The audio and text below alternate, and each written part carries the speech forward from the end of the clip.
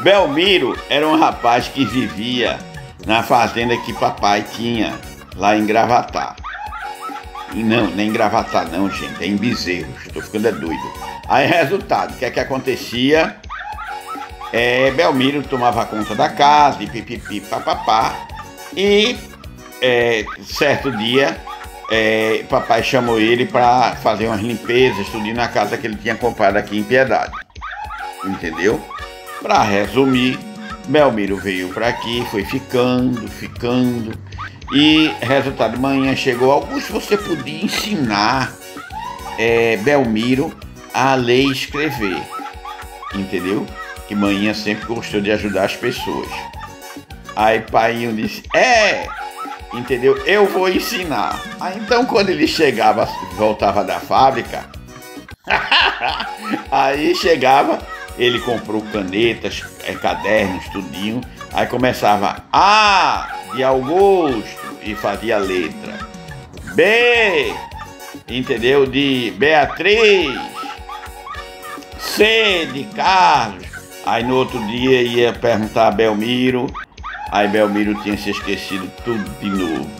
Aí a, a, primeira vez, a segunda, a terceira, aí certo dia papai arretado. Aí chegou. É, que letra é essa, Belmiro? Aí Belmiro.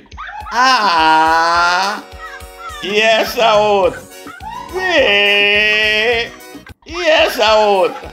Aí ele ficava olhando assim pra letra, não sabia. Aí papai apontando assim e nada. Ai, papai, é C, rapaz, C de cu. Aí, olha, aí mamãe lá disse, Augusto tá ficando doido. Ai, ai. Mas, por incrível que pareça, Belmiro terminou aprendendo. Principalmente a letra C.